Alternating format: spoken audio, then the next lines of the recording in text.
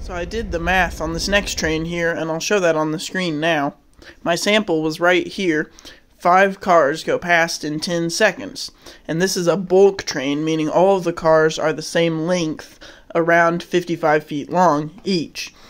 So you can see the continuation of that math here. Five cars in 10 seconds, and then 410 seconds for the whole train to go by. Comes out to be about 205 cars for the whole train. So then you take 205 cars for the whole train, each car being around 55 feet long. Converting that to miles, the train is around 2.135 miles long. And then you take that, 2.135 miles long for the whole train, and then divide that by the time that it took for the whole train to go by, convert that to hours, about 19 miles an hour.